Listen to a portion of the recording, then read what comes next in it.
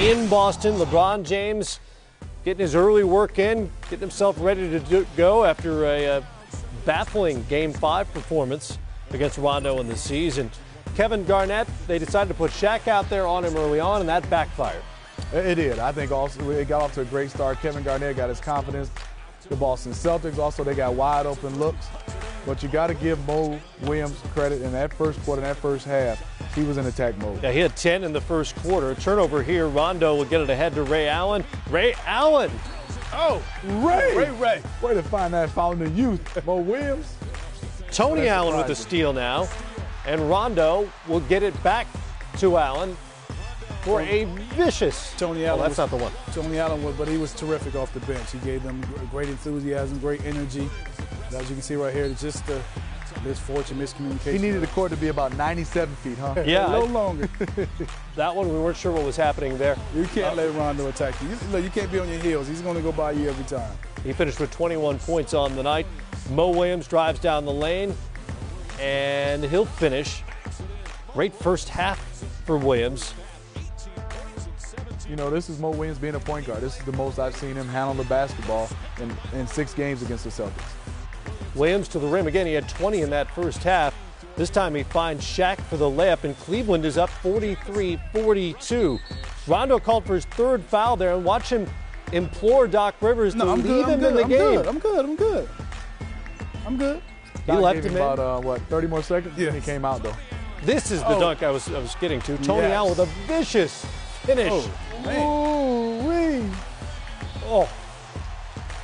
Not a great series for Antoine Jamison and not a great moment for Antoine Jamison. Third quarter, things get a little interesting. Shaq and Kendrick Perkins, and that's a, wow. What do you think? About 350 of uh, all, Shaq, all, all, on Kendrick all Perkins. Next. One, two, three. He's out.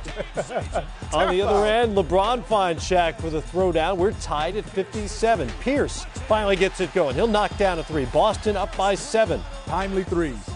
That's what Boston Celtics hit tonight. Garnett steps into a jump shot. He's making that. I have to go out there and play that. So Boston trying to make a run right here. He made those Cavs bigs pay when they put put them on him. LeBron like a freight train.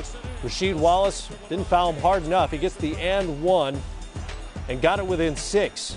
With the C swinging around, Pierce mm, knocks down another three. Boston another up by 12. I mean, those threes right there really hurt the Cavaliers because they were making a run. How important was Tony Allen in this series? Huge. I mean, I'm from the defensive end, right? As you see right here, they're still on, on, LeBron James. And look at him leading the break, run out of transition. He gets the bucket also. He was terrific. He was terrific off the bench on both ends of the court. Matt and Eric, I think this is what they've been missing. They've been looking for another James Posey. Tony Allen kind of filled that role in this series. Early in the fourth quarter, LeBron James stepped into a couple of threes, and it suddenly got very interesting as Cleveland got themselves back within four at 78 74. But turnovers killed the Cavs all night long. Another one here leads to the Rondo finish to make it a six point game. Then the Celtics out running again. As Doc Rivers said, he wanted them to do from the get go in this series.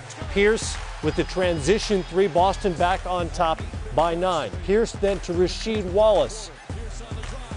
And that is easy money. And that's what I was talking about. These are big time threes. They didn't hit a lot of them, but their five was huge. Tony Allen gets another paw on it.